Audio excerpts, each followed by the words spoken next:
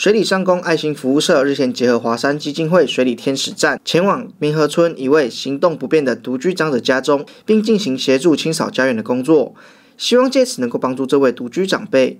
今天下午是社团课的时间，我们集结了学校的老师、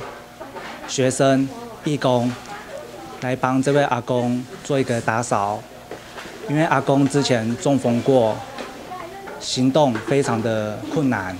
加上门外有一条长长的斜坡，阿公要到巷口倒垃圾是极为不便的。那阿公要像这样子大扫除，对他来说是一项不可能的任务。所以我们聚集大家小小的爱心，还给阿公一个舒适的环境。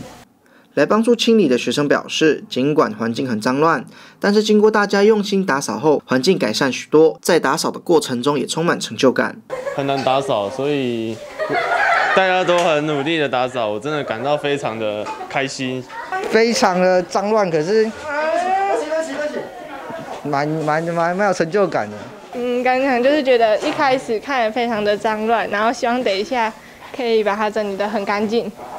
县议员陈淑慧肯定华山基金会以及水里三公爱心服务社学生的用心，也希望未来能够继续关怀独居长辈。那最近我们华山基金会也结合到我们水里三公的爱心社团来做地方上的一个自工的服务。今天特别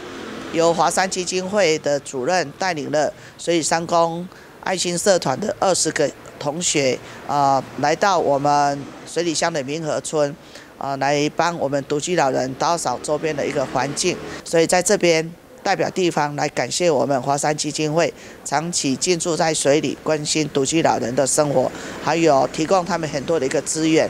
但是也更感谢我们水里三公这二十位爱心社的同学。